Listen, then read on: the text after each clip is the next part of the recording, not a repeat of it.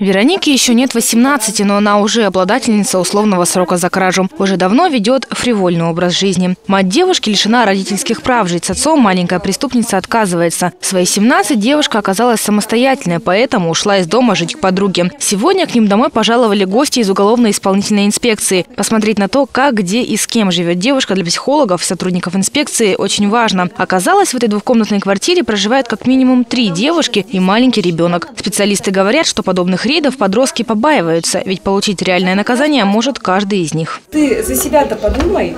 То есть угроза у тебя получается от, отмена условного осуждения. Ты же не хочешь, я думаю, места лишения свободы, правильно? Ну туда, по-моему, никто не стремится. Смотри, ты несовершеннолетний, не проживаешь дома. Чем нарушаешь что? Обязанности, возложенные судом. Прежде всего. И поэтому ситуацию надо решать в свою пользу, с наименьшими потерями.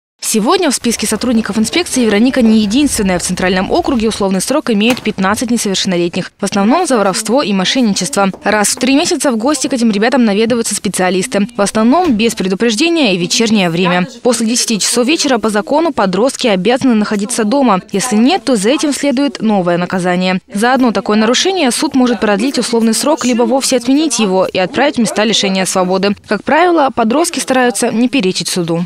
Придя домой, э, по месту жительства несовершеннолетних, мы видим картину собственными глазами, видим условия быта, в которых у нас проживает ребенок, можем оценить семейную ситуацию, э, можем посмотреть вообще образ жизни несовершеннолетнего и самостоятельно, скажем так, э, спрогнозировать его дальнейшее поведение. Станет ли Вероника на путь исправления, психологи не знают, но шанс реабилитироваться ей дали. А воспользуется ли она им или нет, решать ей самой.